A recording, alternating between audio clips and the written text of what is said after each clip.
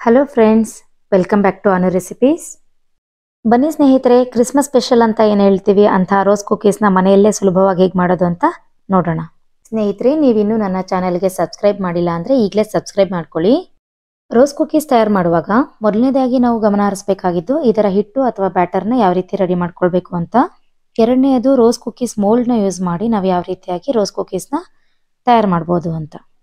ಹಾಗಿದ್ರೆ ಬನ್ನಿ ಸ್ನೇಹಿತರೆ, ತಡ ಮಾಡದೆ ರೋಸ್ ಕುಕೀಸ್ನ ಪರ್ಫೆಕ್ಟ್ ಆಗಿ ಹಾಗೂ ಕ್ರಿಸ್ಪಿಯಾಗಿ ಹೇಗೆ ಮಾಡೋದು ಅಂತ ನೋಡೋಣ.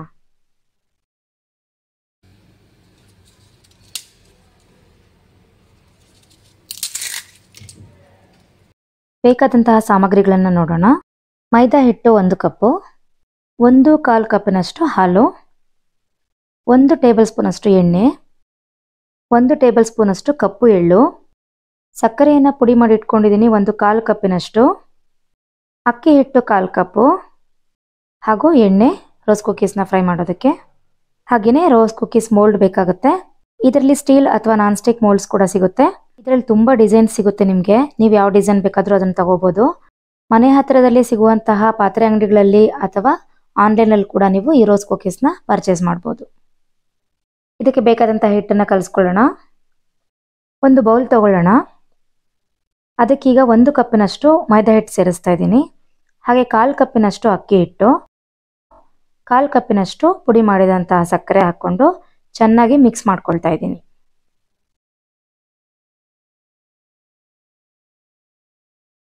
ಹಾಲು ಹಾಕ್ಕೊಳ್ಳೋಣ.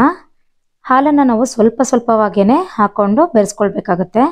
ಸ್ವಲ್ಪ ಸ್ವಲ್ಪನೇ ನೀವು ಈ ರೀತಿಯಾಗಿ ಹಾಲು ಹಾಕ್ಕೊಂಡು ನಿಧಾನವಾಗಿ ಈ ರೀತಿ ಕಲಿಸ್ತಾ ಹೋದರೆ ಲಂಪ್ಸ್ ಆಗೋದಿಲ್ಲ. ಹಾಗೆ ಬ್ಯಾಟರ್ ಕನ್ಸಿಸ್ಟೆನ್ಸಿ ಕೂಡ ಪರ್ಫೆಕ್ಟಾಗಿ ನೀವು ಜಡ್ಜ್ ಮಾಡ್ಬೋದು.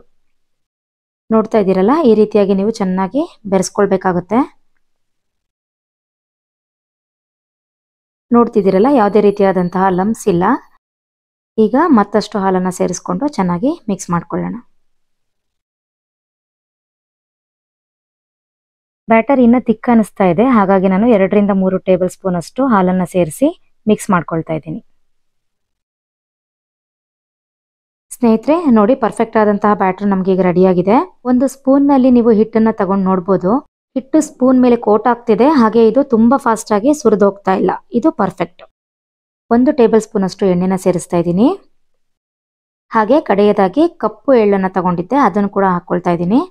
ನೀವು ಬೇಕಿದ್ದಲ್ಲಿ ಬಿಳಿ ಎಳ್ಳನ್ನು ಕೂಡ ಬಳಸ್ಬೋದು. ಏಲಕ್ಕಿ ಪುಡಿನ ಹಾಕೋಬಹುದು ಹಾಗೆ ಹಾಲಿನ ಬದಲಾಗಿ ಕೊಬ್ಬರಿ ಹಾಲನ್ನ ಬಳಸಿ ಕೂಡ ಈ ಬ್ಯಾಟರ್ನ ನಾವು ರೆಡಿ ಮಾಡ್ಕೊಳ್ಬೋದು. ಹಿಟ್ಟನ್ನ ಹಾಗೆ ಒಂದು ಹತ್ತು ನಿಮಿಷ ರೆಸ್ಟಿಗೆ ಬಿಡೋಣ. ಬಾಣಲಿನ ಬಿಸಿ ಮಾಡ್ಕೊಳೋದಕ್ಕೆ ಎಣ್ಣೆ ಹಾಕೊಳ್ತಾ ಇದ್ದೀನಿ. ಎಣ್ಣೆನ ಕಾಯೋದಕ್ಕೆ ಇಡೋಣ. ಮೀಡಿಯಂ ಫ್ಲೇಮ್ನಲ್ಲೇ ಇರಲಿ. ಮೋಲ್ಡನ್ನು ಹಿಟ್ಟಿನಲ್ಲಿ ಡಿಪ್ ಮಾಡೋದಕ್ಕೆ ಮುಂಚೆ ಈ ಹಿಟ್ಟನ್ನು ನಾವು ಆಗಾಗ ಮಿಕ್ಸ್ ಮಾಡ್ಕೊಳ್ತಾ ಇರಬೇಕಾಗುತ್ತೆ. ಮೋಲ್ಡ್ ತಗೊಳ್ತಾ ಇದ್ದೀನಿ. ಈ ಮೋಲ್ಡನ್ನು ನಾವು ಸ್ವಲ್ಪ ಹೊತ್ತು ಕಾದಂತಹ ಎಣ್ಣೆಯಲ್ಲಿ ಇಟ್ಟು ಬಿಸಿ ಮಾಡ್ಕೊಳ್ಬೇಕಾಗುತ್ತೆ. ನಾವು ಆಗಲೇ ರೆಡಿ ಮಾಡಿ ಇಟ್ಕೊಂಡಂತಹ ಒಂದು ಹಿಟ್ಟಿನಲ್ಲಿ ಈ ಮೋಲ್ಡನ್ನು ಈ ರೀತಿಯಾಗಿ ಒಂದು ತ್ರೀ ಫೋರ್ತ್ ಅಂದರೆ ಮುಕ್ಕಾಲು ಭಾಗ ಮಾತ್ರ ಈ ಮೋಲ್ಡ್ ಮುಳುಗುವಷ್ಟು ನಾವು ಅದ್ದಿ ಎಣ್ಣೆಯಲ್ಲಿ ಇಡಬೇಕಾಗುತ್ತೆ. ಇದನ್ನ ಹಾಗೇನೆ ನಾವು ಎಣ್ಣೆಯ ಮೇಲ್ಭಾಗದಲ್ಲಿ ಹಿಡಿದಿಟ್ಕೊಂಡಿರ್ಬೇಕಾಗುತ್ತೆ. ಬಾಣಲೆ ತಳಕ್ಕೆ ಯಾವ ಕಾರಣಕ್ಕೂ ತಾಗಿಸ್ಬಾರ್ದು. ಒಂದು ಹತ್ತು ಸೆಕೆಂಡ್ಗಳ ನಂತರ ನೀವು ಈ ಮೋಲ್ಡನ್ನ ನಿಧಾನವಾಗಿ ಶೇಕ್ ಮಾಡಿ.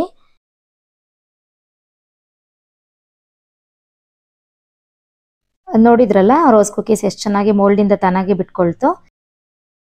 ಈ ರೀತಿಯಾಗಿ ಎರಡು ಕಡೆ ಫ್ಲಿಪ್ ಮಾಡಿ ನಾವು ಗೋಲ್ಡನ್ ಬ್ರೌನ್ ಬರೋವರೆಗೂ ರೋಸ್ ಕುಕೀಸ್ನ ಫ್ರೈ ಮಾಡ್ಕೊಳ್ಬೇಕು. ಫ್ರೆಂಡ್ಸ್ ನೋಡ್ತಿದ್ದೀರಲ್ಲ ಎಷ್ಟು ಚೆನ್ನಾಗಿದೆ ನೋಡಿ ರೋಸ್ ಕುಕ್ಕೀಸ್ ನೋಡೋದಕ್ಕೆ ಮಾತ್ರ ಅಲ್ಲ, ತಿನ್ನೋದಕ್ಕೂ ಕೂಡ ಬಹಳ ರುಚಿಯಾಗಿರುತ್ತೆ, ಗರಿಗರಿಯಾಗಿರುತ್ತೆ. ಚಿಕ್ಕವರಿಂದ ಹಿಡಿದು ದೊಡ್ಡವರಿಗೂ ಕೂಡ ಇಷ್ಟ ಆಗುವಂತಹ ಈ ಒಂದು ಸ್ನ್ಯಾಕ್ಸ್ ರೆಸಿಪಿ ನೀವು ಕೂಡ ಮನೆಯಲ್ಲಿ ಟ್ರೈ ಮಾಡಿ. ಸ್ನೇಹಿತರೆ, ನಿಮಗೆಲ್ಲ ಈ ವಿಡಿಯೋ ಇಷ್ಟ ಆಗಿದೆ ಅಂತ ನಾನು ಭಾವಿಸ್ತೀನಿ. ಹಾಗಿದ್ದಲ್ಲಿ ವಿಡಿಯೋಗೆ ಒಂದು ಲೈಕ್ ಕೊಡೋದನ್ನ ಮರಿಬೇಡಿ. ಹಾಗೆ ನಿಮ್ಮ ಅನಿಸಿಕೆ, ಅಭಿಪ್ರಾಯಗಳನ್ನು ನನಗೆ ಕಮೆಂಟ್ ಮೂಲಕ ತಿಳಿಸ್ಕೊಡಿ. ನಿಮ್ಮ ಫ್ಯಾಮಿಲಿ ಹಾಗೂ ಫ್ರೆಂಡ್ಸ್ ಜೊತೆ ಈ ವಿಡಿಯೋಗಳನ್ನು ಶೇರ್ ಮಾಡಿ ಅಂತ ಕೇಳ್ಕೊಳ್ತಾ ಧನ್ಯವಾದಗಳನ್ನು ಅರ್ಪಿಸ್ತಾ ಇದ್ದೀನಿ. ನಾನು ನಿಮ್ಮ ಅನು.